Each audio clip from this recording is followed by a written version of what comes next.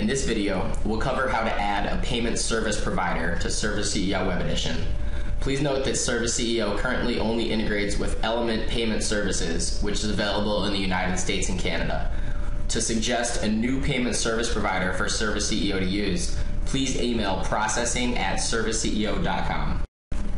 To use payment processing in Service CEO, you must first sign up with Element Payment Services. This can be done on the web at www.elementps.com. Once you've signed up with Element, they'll give you the information that you need to enter your payment service provider in Service CEO. This happens on the Settings tab. Under the Application Setup header, we click the link that says Payment Service Providers. First, we'll click Add New.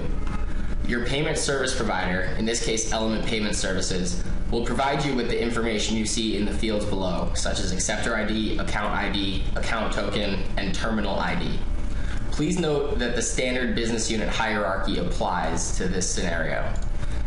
In this particular business, we have four lower business units. If I enter a payment service provider at this top test CEO level, all of the business units under it will be able to use it. However, if I enter in a payment service provider at the New York level, only the New York business unit will be able to use that payment service provider. For our franchise users, this means that you can set up a payment service provider at the top level or for each particular business unit. To register your payment service provider, simply enter the information that you've received into the fields you see below. For security reasons, we'll skip this in the video. Once you've filled out the fields on the screen, just click Save and you're all set.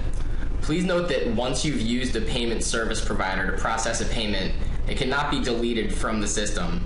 In that scenario, you'd want to deactivate the payment service provider by opening it and unchecking the active box.